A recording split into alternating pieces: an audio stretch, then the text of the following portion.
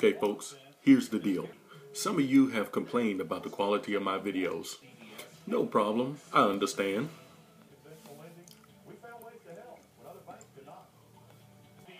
And my introduction is too high! I'll admit, I'm not a video expert. And I'll be the first to admit to you that my video quality really sucks. So once again, no hard feelings. No, I'm not leaving YouTube. Although that might make some of my haters real happy. However, because of this, I'm going to have to make some changes. Hey, I like doing these videos.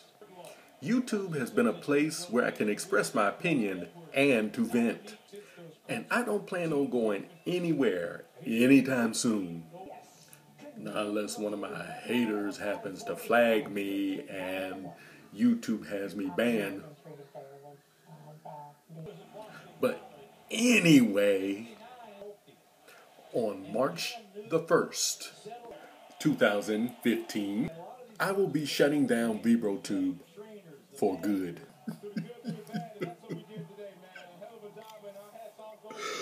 Why? Well, it's okay, so you can turn off the waterworks. Because, just like the proverbial phoenix, my channel shall rise again. Only this time, it will be named Truthsharks TV. And just like my radio program on Blog Talk Radio, it will consist of two channels.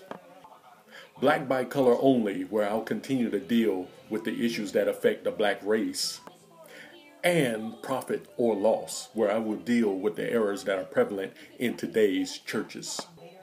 And all of this will begin on April the 1st of this year. So get ready.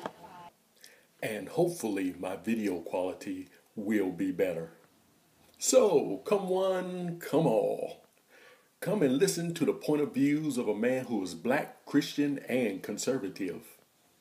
Everyone will be welcome, whether you agree with me or disagree with me.